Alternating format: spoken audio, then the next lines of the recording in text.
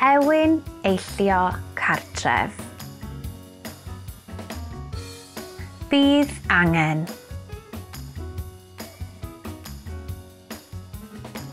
Olew cnau coco. Menyn shia. Olew almon melys. Olew tea tree.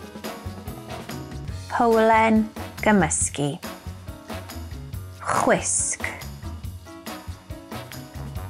Llwy bren. A jar airglos.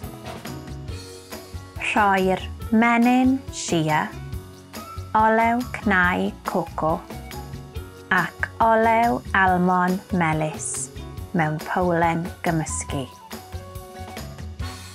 Toddi mewn meicrodon ar bwer isel ychwanegu olew tea tree.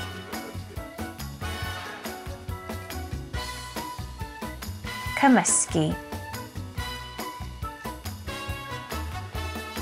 Rhoi'r gymysgedd yn yr oergell am tua 2 awr i setio.